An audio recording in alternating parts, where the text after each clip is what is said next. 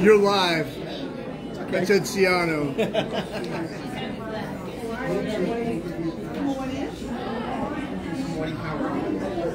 My son is Maine is here. My son in Maine is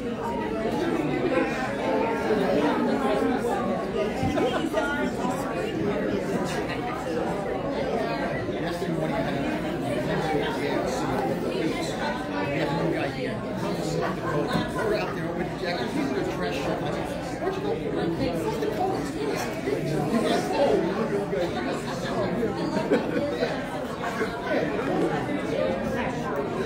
He would, he would go to, uh, he loves that. This place out in Oklahoma.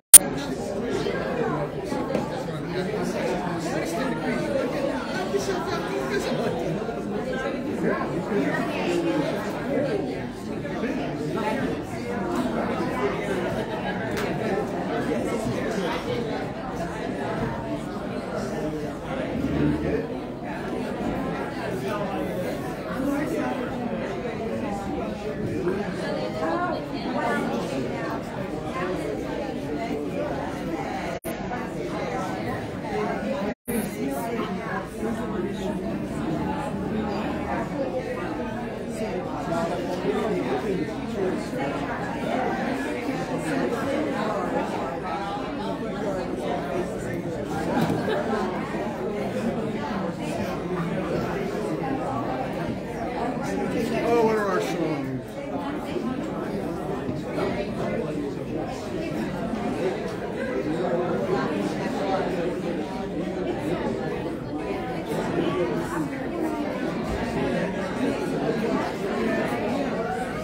Psalm 46 and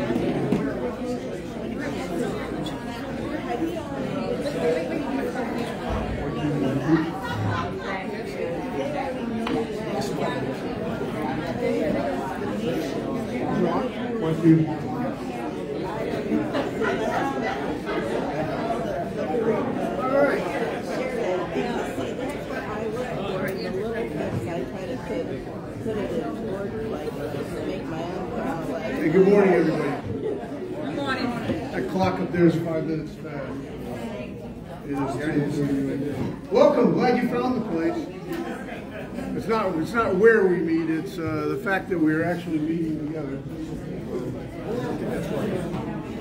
Thank you, thank you for being here. Tuesday morning, uh, excuse me, Tuesday afternoon, one o'clock, Women's Fellowship in B and C. Uh, Marilyn Chadwick is speaking. Uh, so yeah, one o'clock, B and C, Women's Fellowship, back there. Wednesday morning, Lapeep, eight thirty. Marty Granger uh, leads that uh, group over at Lapeep for the guys at eight thirty. Thursdays in uh, C, we are meeting from four o'clock to five o'clock with uh, Floyd Elmore uh, teaching that. It was a it was a good turnout. I was kind of wondering how switching from six thirty to four o'clock would would uh, would work, but it's actually working out very very well. we had a, uh, we had a good group there. Uh, there was some, oh. Uh, where's Joy Nelson? When Nelson? Yeah, Joy Nelson, Grief Share starts up February second, again in in Jasmine, okay, in the Jasmine room. And uh, yeah, you have uh, uh, brochures, flyers on the table for, uh, for uh, grief share. That's there. Anything else going on? Welcome back to David. He's feeling better. Floyd is, Floyd, yeah, exactly. Yeah. Floyd is, Floyd is feeling better. Floyd, you here? That Floyd is feeling better. Uh, which is good, so you're not having to listen to me, which is always a blessing. No, stop. No, it's not. No, it's like, you know, you, know you know your gifting, you know your lane. It's like as much as possible, I try to stay in my lane. But you are a very, but you are a very kind, generous, uh, patient group, and and I surely appreciate that. Music today is uh, Psalm 46 and Psalm 23. We'll open with Psalm 46. Uh, with the music, let's open in prayer. Again, thank you. Any, oh, excuse me, anybody new for the very first time? Welcome. Glad you're here. Thank you for being here. This is uh, it's a good group. It's a very like a very kind group. It's a very um, casual group, and uh, it's it's usually one of those things on Sunday mornings. As we started this ten years ago now, and it was um, uh, for those of you who've been around for a long time, you know how how this got going. But God had kind of put it on my heart to uh, uh, have something on Sunday mornings on campus and I told God, good luck with that. I hope you find somebody to, I hope you find somebody to put that together. You know, so we start, first two years we were meeting, we were meeting over in uh, one of the rooms over there. And then uh, David became available on Sundays and we, is this on? Is that working back there? Yeah, then, then uh, that, uh, then, then David came on board and we uh, we started over here. But this has been this has been a good group. It's one of those that God put together, and um, my my prayer has always been, you know, just don't be the engineer for the train wreck. You know, this is this has been a great group for many many years. Again, it's very kind. You know, we don't have to travel very far, um, but we certainly do understand, you know, the folks that are looking for a large choir. Uh, yeah, exactly you know, Cheryl, Cheryl's always had, Cheryl's always been, you know, if, if, if, you don't have a choir and you don't have programs, then it's not real. Well, we've got YouTube, and, and, and, and we may be having some live singing shortly. We'll see, uh, we'll see how that, uh, how that goes. Anyway, thank you for being here. Let's open in prayer. Father, thank you for this gathering together of your people. We, uh, we are always encouraged by that as um, we assemble together in your name uh, for your glory. We ask that your spirit would be with us. Give us joy, give us peace, uh, give us encouragement for those who need encouragement. Uh, may we seek, out, seek them out and give that to them. Uh, uh, hope that uh, only you can give. We ask that you bless us today in your name. Amen. Amen. Psalm 46. John, if you get the lights. Oh, you already got the lights, don't you?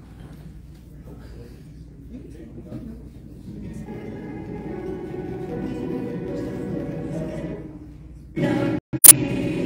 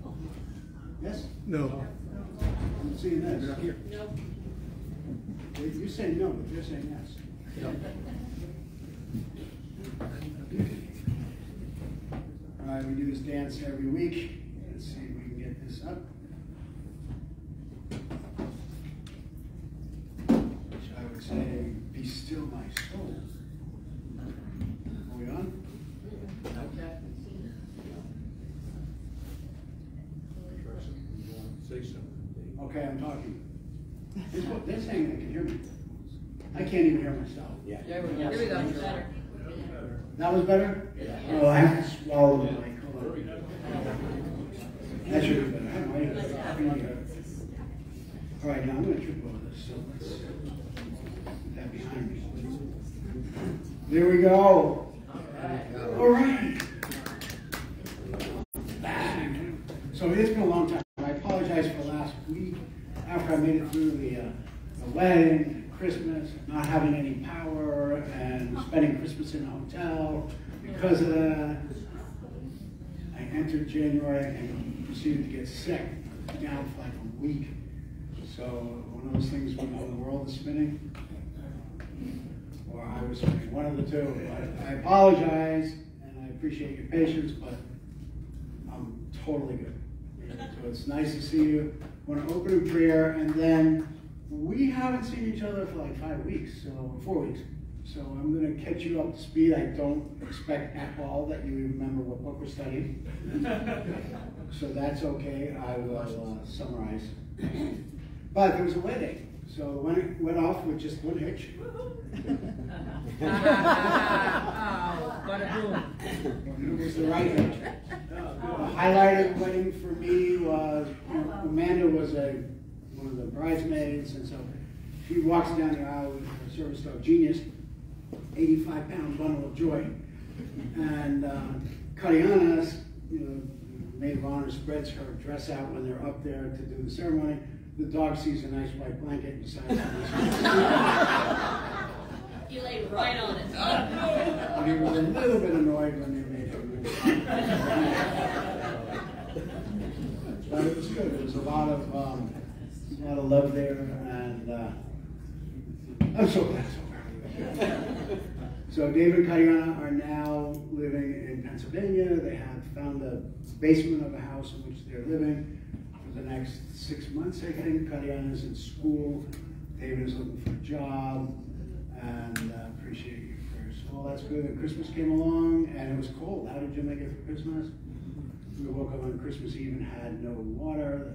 Everything was frozen. We have a well, so apparently the well had froze.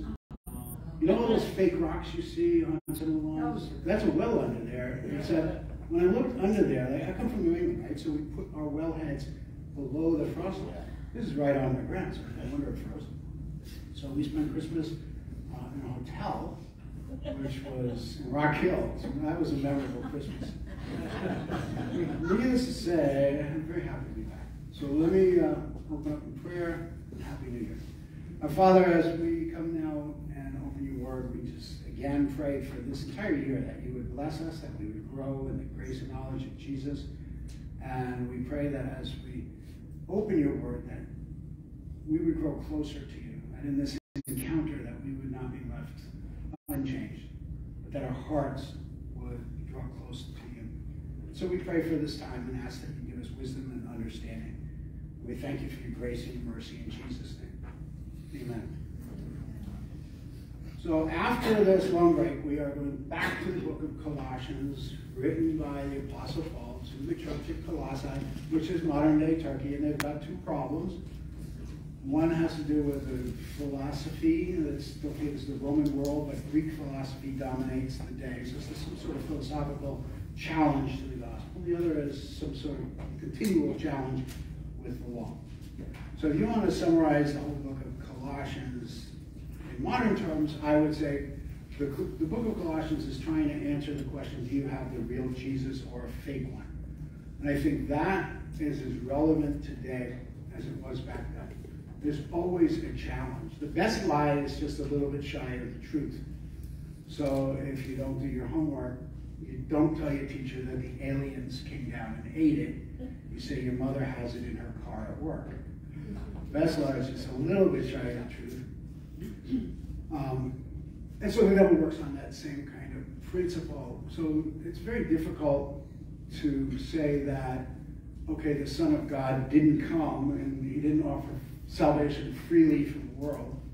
So what you do is you just sort of edge off a little bit as to who he is. And that happens even today. And I get in trouble sometimes when I say that the real Jesus is not the social justice Jesus. And the reason why that that's a little bit shy of the truth is that social justice will follow the gospel. It always follows the cross. But it doesn't lead the cross. Christianity is not about making Rome a better city. It's not about making the world a better place. It's about being reconciled to God because we rebelled against him. And all of the cries for justice need to come. So the no justice, no peace really should say no Jesus, no justice, no peace. Just a little bit shy of the truth. It's not that social justice is bad. It's just, that's not what Christianity is about. Christianity is about being reconciled to God and following the King to another kingdom. We also have the, the help me out Jesus, or the rabbit's foot Jesus, who is he's there to make my life a better life. Along with that is the doctor Jesus, who's there to heal me of every ailment. Now, best lies with shy of truth. He does heal. He does answer prayer. And sometimes he miraculously. Sometimes he'll reverse cancer. Sometimes he won't. Sometimes he will heal over a period of time. Sometimes he won't. Sometimes he heals instantaneously. But he always heals in eternity. So the healing follows the cross. And if we don't recognize that, then we miss this most important principle of Christianity, which is his power is made perfect in weakness. That's the potting soil for faith. If we don't have suffering, if we don't have if we don't have pain, if we don't have sorrow, it's very hard to grow in faith. The analogy I've always used is you can't go to the gym and lift 10 pounds of weight and expect to, you know, be all beefed up like Thor. It's got to burn, it's got to hurt, the weight has to increase, and that's the point of suffering. Its power is made perfect in weakness. But if our view of Jesus is he's there at my beck and call to heal me every time I cry out, then what happens? We get disillusioned because we forget power is made perfect in weakness, and that true healing comes in eternity. That's a big deal because there's a lot of emotions and pain and sorrow that is attached to it in this world, and the only way to get through that is by faith in the real Jesus, understanding that he hasn't ignored us, that he truly loves us, he wants what's best, but he knows what's best, and this suffering time is for a short period. So we wind up praying, God, get me out of this, instead of God, help me through this, to your namesake. I would rather pray, God, get me out of this. I think most of us, being honest, would say that. God, get me through this, is to say, however this happens, let me glorify you because I just don't know how I'm going to deal with this.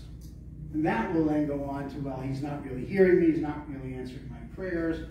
So in Colossians 1, he said that Jesus is the image of the invisible God. He's before all things, he created all things. And that he holds all things together. So I say to people, do you really want to know if God's answering your prayers? Open your eyes and wiggle your fingers. If the fingers remain attached, he's hearing your prayers. Because in him all things hold together, literally. So he's hearing you. But the real Jesus is 100% God, 100% man, has our best interests in hearts, has reconciled us to God, who has asked us to live this time by faith, which often comes with suffering and problems. So somebody has come into the Colossian church and said, no, there's a better way, a better plan, you got the wrong Jesus. Well, Paul never really calls them out on the carpet in detail. Instead, what he does, he just gives them a picture of what the real Jesus is like. That's Colossians 1, verse 15 and following. The image of the invisible God, the first one over all creation. Everything's created by him, for him, through him. He is the end all, and he's reconciled us to God. That's the real Jesus. So this is what Colossians is about. When you become a Christian, it's not adopting a religion. I know that's what the world says. said Christianity is one of the major religions of the world. Well, yeah, by that definition it is. But Christianity is not about religion. It's not about joining a church. It's not about signing onto a doctrinal statement. Christianity is about following the king. And he's the king of a kingdom of which we are its citizens here a little too soon, but right on time. Because his kingdom is not inaugurated until he comes back. And to get from here to there requires faith that we got the right Jesus. In a sense, it's a hard way to live. That's a way of living It's like this world is not all that matters. It's the next. There's something greater than this world. There's something greater than this life. And if you think about it, that's programmed into people that believe and who don't believe. There's no other reason to understand why people in the military, for example, would lay down their lives for their country or lay down their lives for their um, people that they're fighting along, their brothers that they're fighting alongside with. They wouldn't do that. If they didn't understand that there is something greater. It's higher, it's, it's within us. And that's what it is to be Christians, to be follow the king of another kingdom at any cost. Because we're not afraid of those that kill the body, those that could kill the body and the soul in hell. So the real Jesus is one who is completely God. So, once I know who the real Jesus is, what do I do about it? And that's where Colossians goes. Paul always does that. He always crosses the line from preaching to meddling. And it happens about halfway through the book. And that's what he's doing now. He's going into the, okay, so what do I do about it? How should we then live? The answer to it is going to be, well, because we're people of another kingdom, we need to understand that we are, number one, out of place. This is not our kingdom. Jesus said that to Pilate. This is not his kingdom where his followers would fight. We're citizens of a kingdom that is yet to come. So we're here at a place. We're also at a phase. By that, I don't mean Star Trek, like here's your phaser. I mean that we act differently from the rest of the world. We think differently. We act differently. And you verify that every time you shake your head and your hands at what you're seeing happening in the country or watching TV. And you're saying, I don't understand why people can't get it. That's because the God of this age has blinded the minds of unbelievers, so they cannot see the light of the gospel. Spiritual blindness is pernicious because, number one, is you don't know that you're blind. You don't know that you're spiritually blind. So you're physically blind, you bump into things. You're spiritually blind, you don't. But the worst part about spiritual blindness is you think you see. That's the worst part. Because then you start fighting for justice or rights or the things that look good, but are shy of the truth. And you fight for them because they have good names like justice and peace and love. But in reality, when you pull back the covers, it's not God's justice. We're fighting for our justice, therefore on our terms. It's not God's understanding of love where you die for the other person, but it's a reciprocal love where I put my piece in, you put your piece in, and somehow we make it through. And we atone for ourselves. This is the world in which we live. But we're at a phase with that, which is the whole second half of the book of Colossians, which we're going to. It's like, okay, since you are people of another kingdom, out of place and out of faith, this is how you now are to live. But we're also out of time in the sense that we're here too soon. That's the weird part, is that the Old Testament prophecies that the kingdom of God would come when the Holy Spirit and the Messiah are together. The Spirit of the sovereign Lord is upon me. He's anointed me to preach good news to the poor. Isaiah 61, which Jesus himself quoted about himself. The weird thing is, is that when Jesus died and rose again, he told his disciples, I'm leaving. And then he goes and he ascends in heaven. And he's his disciples are left standing there gawking, looking up in heaven, and the smart alecky angel, they do have smart alecky angels, so what are you looking at? Most of the angels from New York are smart alecky angels. Forget about it. I would, if I had been a smart alecky apostle, I would have said, what, you kidding me? Forget about it. I mean, every day you see somebody rise into the sky. What do you think I'm looking at? Numbers? So at a time is that he left. And then Acts 2, his spirit comes. Time out. What good is the coming of the Holy Spirit if the king's not here? And that's what we found out as the mystery of the church. New Testament church was born in Acts chapter 2, indwelled by the Spirit, a temple of the Holy Spirit, the people of Jesus to proclaim the good news, to tell people this has all been a lie. And the truth is, God really does love you. There is a solution to this. And that Jesus died so that we might live. But there will come a day when Jesus comes back. Now we've got Messiah and Spirit, and the kingdom is inaugurated. So we have, live as a people who are really out of place, out of phase, out of time. Here a little early, but just on time for a kingdom that is not yet fully come. You with me? All of which is to say, as we're coming into the second half of the book, how should we then live? I'll give you the caution that I give to most people, that it's going to sit funny. And that caution is this Christianity is not first and foremost about character change. Ooh. Well, because God loves to forgive and I love to sin, such a good deal. Shall we go on continuing to sin that grace might increase? Might never be. So character change is important. It's just not about character change. Now we instinctively know that in January when you go on your yearly diet. because you realize that, you know, I can only eat lettuce for so long. And somewhere around, I would say Valentine's Day, the temptation of Satan, the chocolate comes out. Never mind. And we realize that we struggle with the same things over and over and over again, but that we can do all things in Christ, that He does set us free, but we're still wrestling with these same issues. Character change follows the cross.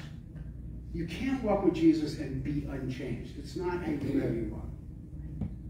But it's not about character change, or we'll all fall short. That's the, the lie of the law. And those in Colossae that were looking to the law were thinking, if I just check all these boxes, then I will be a good Christian. No, you can't check enough boxes to do that. Everything is by God's grace, sovereign grace, by faith, which by the way he gives to us, and then we obey. So the character change follows who we are. So what we do follows who we are. So you can't say, if I just do all the right things, then I'm a good Christian. That never works. It is, I am a good Christian, so I will do these things. Be holy as I am holy, is what Peter will remind us that God said. So in other words, what do you mean I'm a good Christian? Well, we'll see that when we get a little further as God's chosen people, holy and dearly loved. He says, you're already holy, you're already a good Christian. You are positionally removed from the kingdom of darkness and put into the kingdom of light. You have peace with God. You are reconciled. Relax. You're good. Except you don't always act that way. Yeah, my great grandfather said, David, America's a great country. He says, the people know that. The kingdom of God is a great kingdom, except the people who are alive right now don't act that way. And so because we are the righteousness of Christ, we need to act that way. And that's what he's, he's going to. All right, so there's your introduction for 2023. Now I want to go to the second half of the book. I already started chapter 3, and in the first part of chapter 3, it says, If then you have been raised with Christ, seek the things that are above, where Christ is seated for him. And that's Paul's way of saying, look, because you are a Christian, because you have followed Jesus, act that way. You hear this in my house all the time. It comes with those two words I hate, grow up. Never mind. We used to have kids in the house, so every time I would grow up, I knew she was talking to one of the kids. But after my kids all grew I started to grow up, I knew I had a problem. Since you are in Christ, grow up. Act that way. Set your mind on things that are above, not things that are on the earth. If you've died, your life is hidden in Christ and God.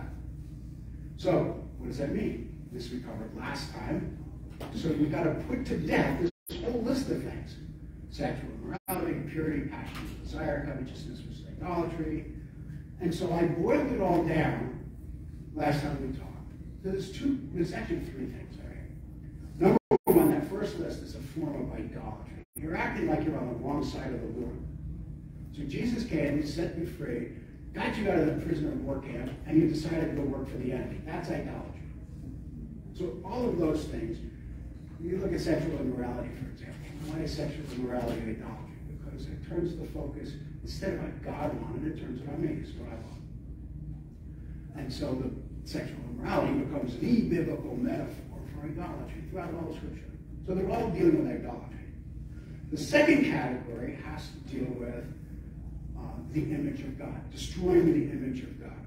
That's anger, wrath, malice, slander, obscene talk from your mouth. Striking out against the image of God, which is like murder. That's why Jesus says in the Sermon on the Mount, which is, the law says, thou shalt not kill, but I say if you call your brother a fool, you're already guilty of the gates of hell. Capital punishment. Why? The answer is because you're striking out against the image of God, which is like raising your fist at God. And then in verse 9, do not lie to one another. So there's your categories idolatry, murder, and lying. Goes back to John 8, verse 44, when Jesus says that the devil is a liar and a murderer from the beginning. So lying and murder are his calling cards. So what is he saying in this long list? Don't act like the devil. You're on a new side. Now we pick it up in verse 9. So in verse 9 to 11, this is now we're going to the positive side. Don't be that way, be this way. And rather than just making Christianity less, he starts by giving the principle. So look at verse 9. He started with do not lie to one another. But then he goes on and he uses the principle. Seeing that you have put off the old self, put on the new self, which is being renewed in the knowledge after the image of its creator. Now, one of the things I just want to bookmark but I'm going to say it over and over. In English, we don't separate you singular from you plural, but they do in Greek. And all of these passages are you plural. All have put on the new self. So you're a community that's different. You're a community that's out of phase. You actually have a, and it doesn't say new self, it actually says new man, but that's, English doesn't fit so much anymore. He's really talking about everybody, but by using the term man, he's talking about mankind. We've got this problem. This problem is we've rebelled against God, so we've got this sin nature and even though we have the vestiges of the goodness of God that we can reflect as his image, we're really corrupt to the core.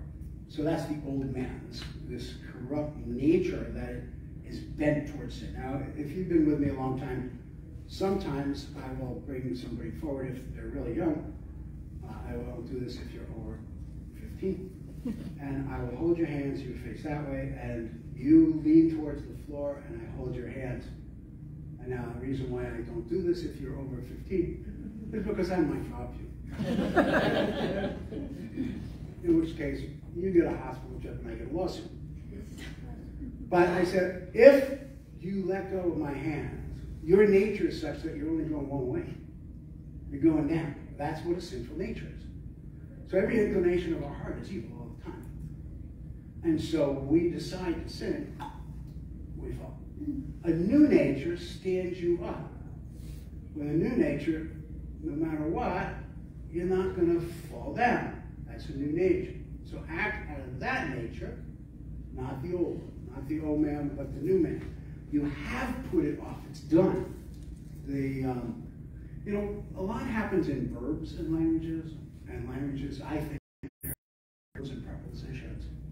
And the verbal system from one language to another is not the same.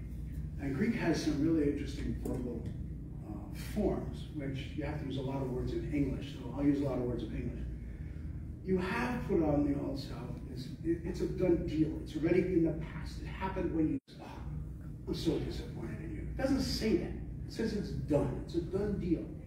The done deal is the old self is put on. Y'all, you as a community, not just you as an individual, you, the church, you're a holy people.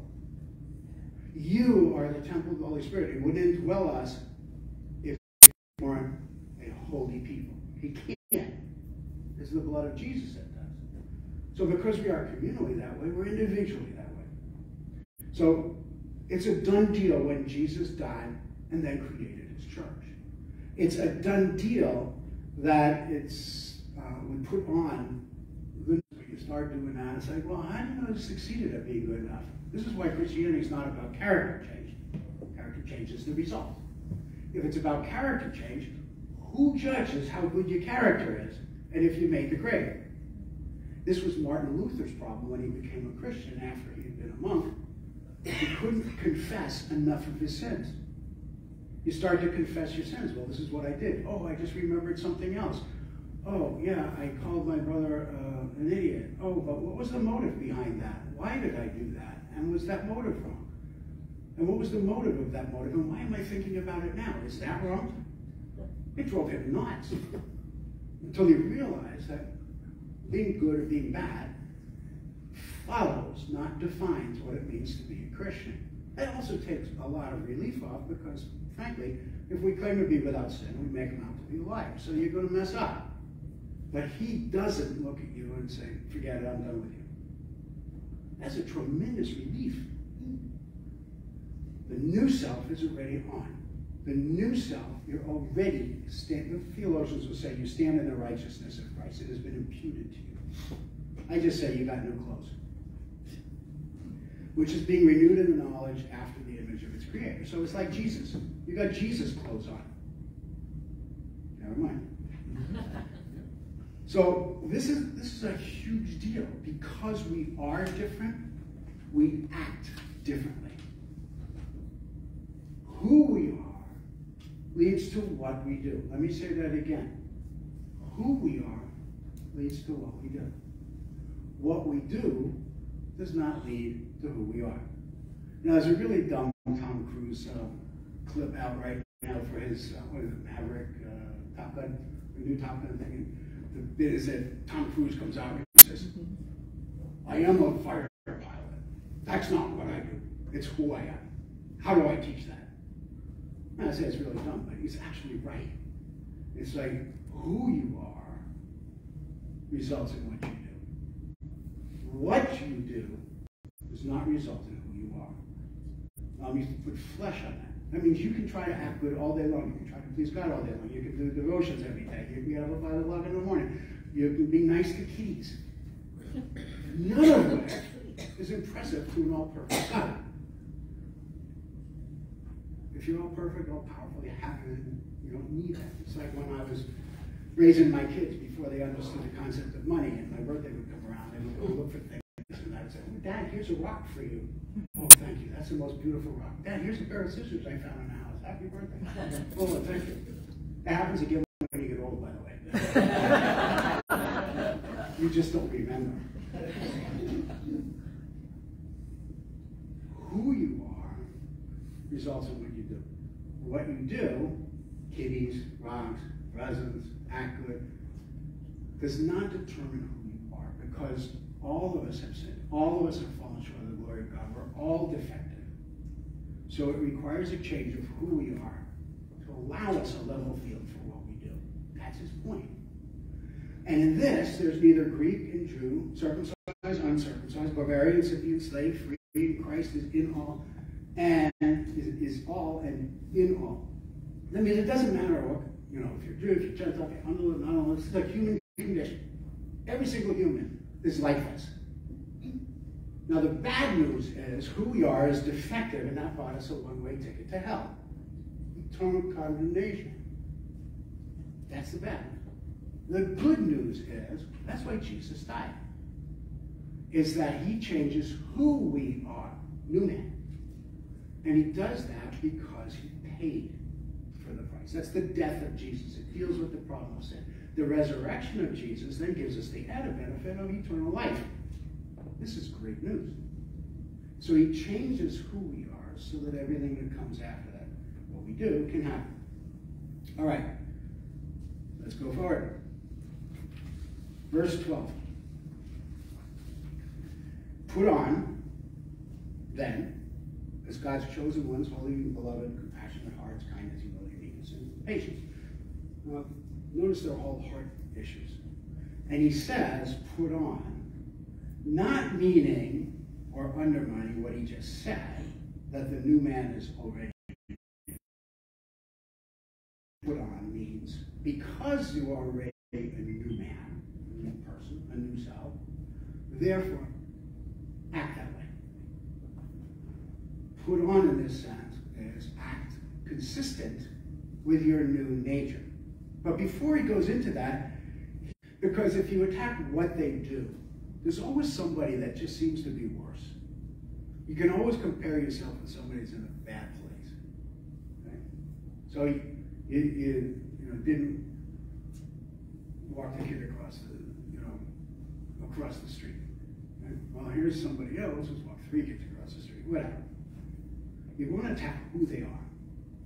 That's the old um, Humphrey Bogart movie, you know, African Queen, when he looks at, uh, I always mix it to Katharine Hepburn. Remember Katharine Hepburn? Please tell me you watch movies. Yes. Yes. Thank you. And Humphrey Bogart, Mark's no, no, Humphrey Bogart. And he gets stuck with this missionary in, a Congo or something, and they're in a boat trying to escape. And she's a goody good Christian, and he's a hard drinking guy. He just can't live up to her perfection. And at one point he says to her, and you call yourself. That's the best line to use against any believer. That's a line that was authored in the gates of hell. It's a line that they train every demonic recruit with. I made that part up. Go out and use that line. And you call yourself a Christian. Because after a while, you start to believe, I'm no good, I'm no good, I'm no good. So this verse counters that. I want you to try to memorize it. Put it on your refrigerator. When he says put on then, and he's going to say, put on the righteousness or act out of the righteousness of Christ. But he pauses and he says, but let me remind you who you are. And he says, you're chosen, meaning you're holy and beloved. Now make it three of Chosen, holy, dearly loved or beloved. Let's deal with them one at a time because they're that important. God picked you. Now you responded by faith. He picked you. He created you. Every single one of us was formed in a mother's womb, no exception. God superintended that entire process. When the DNA comes together, multiplies, and your nose shows up, and your eyes shows up, but even then, your personality begins to form. I got a one-year-old grandson right now, he's one. He, he can't even talk, and he's telling jokes. I kid you not, Meredith last night sent me a clip and she's holding him and they're laughing. And she says, What's my name?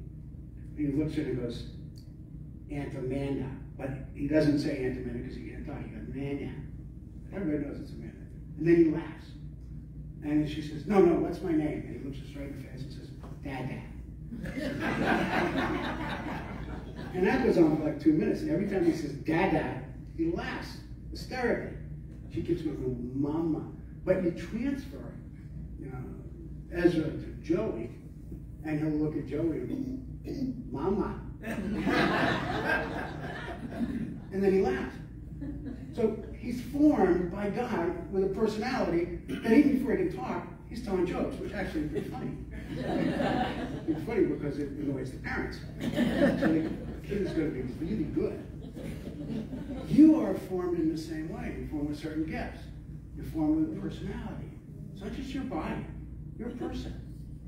And God has done that. And He picked you. He wants you. He loves you. He doesn't put up with you.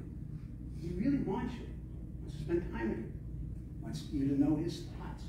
He already knows yours. And He hasn't rejected you.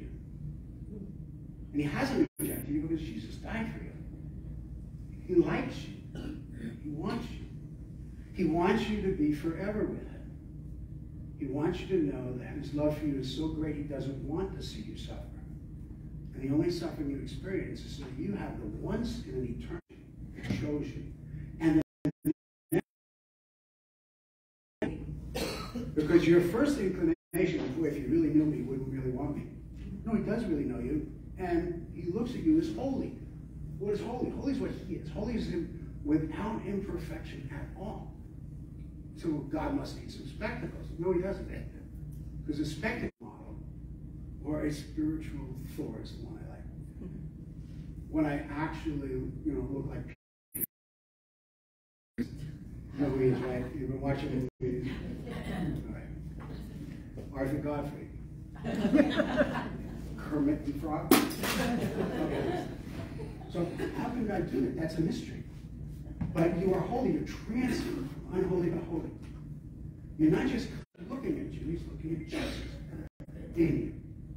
And then the last word is beloved. It is one word in Greek, but it's I like the, the full movements of it. Dearly loved. You're not just loved. You can be loved and like God's putting up with you. No. Dearly loved. When you're dearly loved, then that means known, to know and be known. In Star Trek terminology, you've been assimilated. Never mind. It's a unity. It's a it's a mystery that happens between a husband and a wife. It's a, a strange and mystical and wonderful unity. And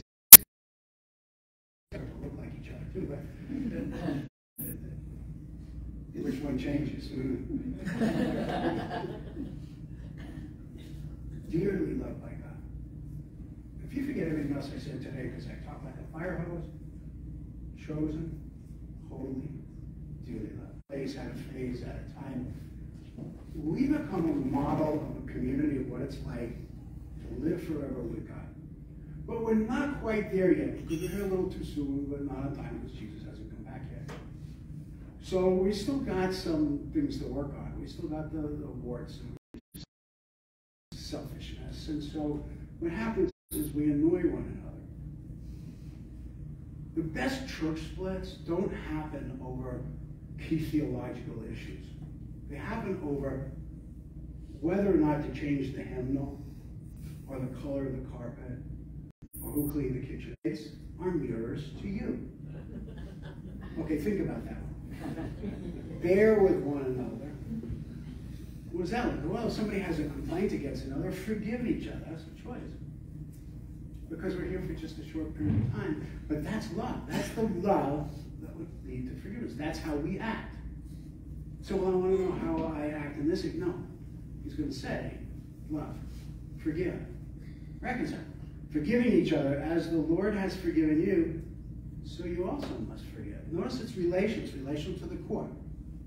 Now, the motto of the United States is E pluribus unum. From many, one.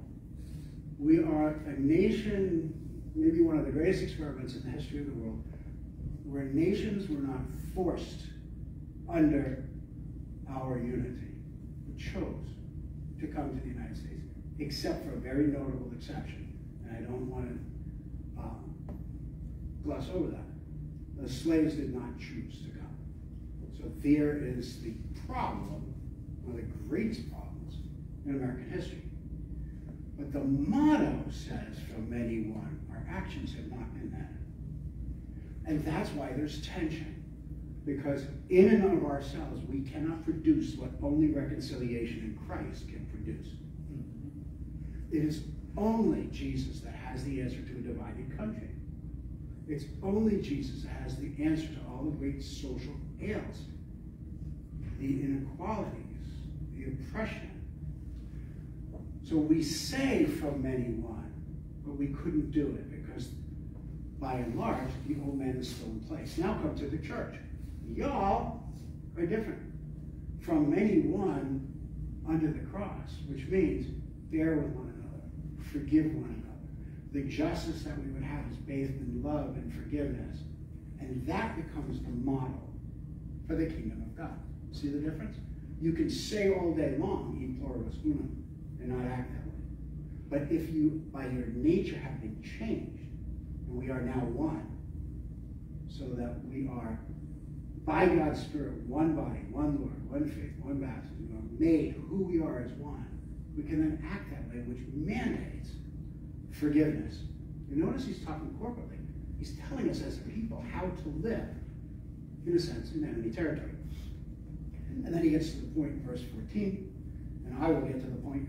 And above all, put on love, which binds everything together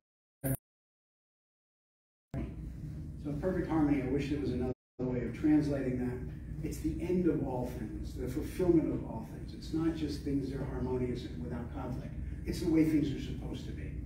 So love is the glue. Hardly has a word been more misunderstood. Again, I understand the nature of our hearts, and God forgives everything. But in the society in which we live, it's when you have a conditional view of love, there's no reason, in many cases, to try to stay through. It's a really great challenge. So then people are looking at the statistics and they say, wow, millennials and the upper part of Gen Z, they're not getting divorced as quickly. Good news, right? No, depends on how you read the data. They're not getting married. Why are they not getting married? Because they don't want to get divorced. What's the benefit of that? Just the financial benefit. That's a heightened form of, of independence. The way our society works is, oh, let's try each other out, let's live together, so on and so forth. And then sooner or later, you start to get old, and somebody wants to a kid, and that's when they start talking about marriage. Right? So talking about marriage, because it needs to be for the benefit of the child, and so on and so forth. It's like it's got the whole thing backwards. It's a false understanding of love. The kind of love that follows across is one that forgives, one that loves unconditionally.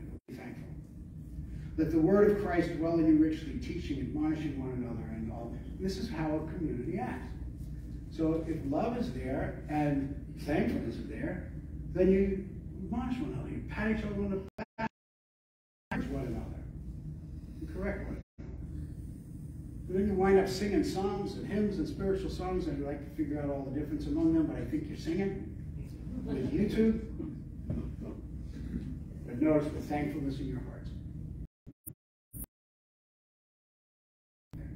Have the thankfulness. As a community, that's the rule by which we live.